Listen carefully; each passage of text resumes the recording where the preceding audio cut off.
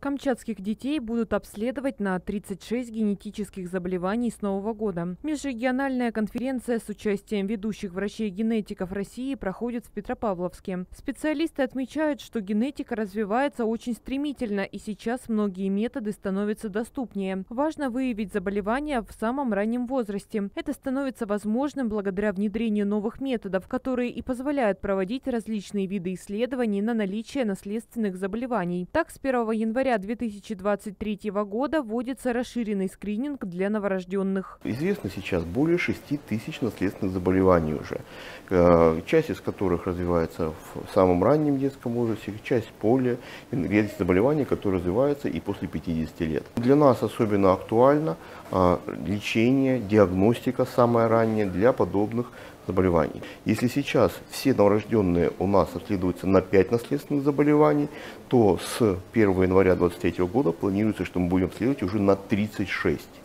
А, при этом не зависит от того, где будет проживать ребенок, он будет проживать в Москве, он будет проживать в Питере или он будет проживать на Камчатке. Все должны получить эту помощь, и эта помощь будет максимально ранной. Собственно говоря, первые результаты подозрения на наследственные заболевания мы будем видеть уже, собственно говоря, к восьмому дню жизни. Научный форум проходит на полуострове уже в третий раз. Отметим, камчатские врачи регулярно повышают квалификацию, проходят обучение в других городах и принимают участие в конференциях.